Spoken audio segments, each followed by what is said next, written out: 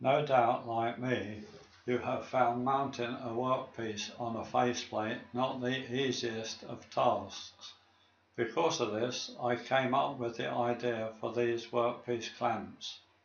Except for the nuts, screws and washers, there are just three types of component. The clamp, clamp packing and the added spacers for the clamp packing.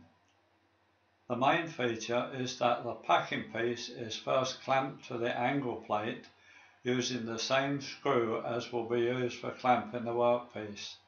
This can be seen from the drawing on the screen.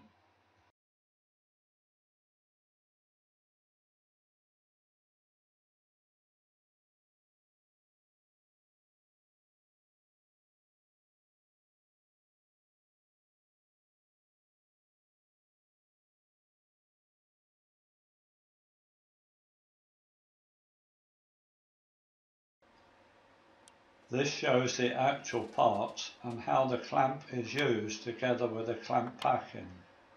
To avoid having to make a wide range of clamp packing heights, spacers are also made in a range of thicknesses, though I have made a wider range of sizes than seen here.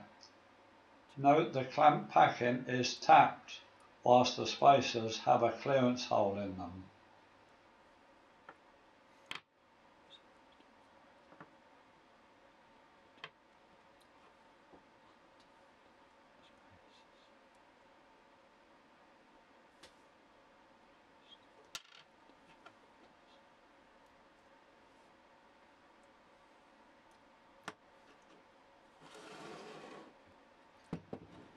The following shows a very simple application for the system.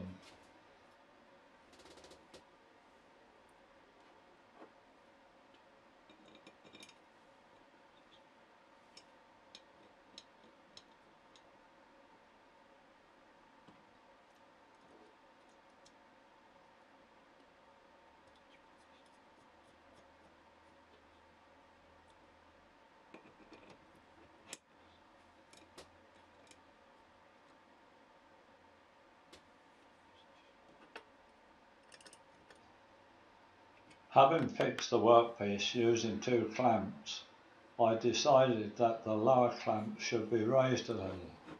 Do take note here that the clamp packing remains captive whilst the change is made to the setup. This is a major advantage of the system. Look closely and you will see the lower clamp being raised.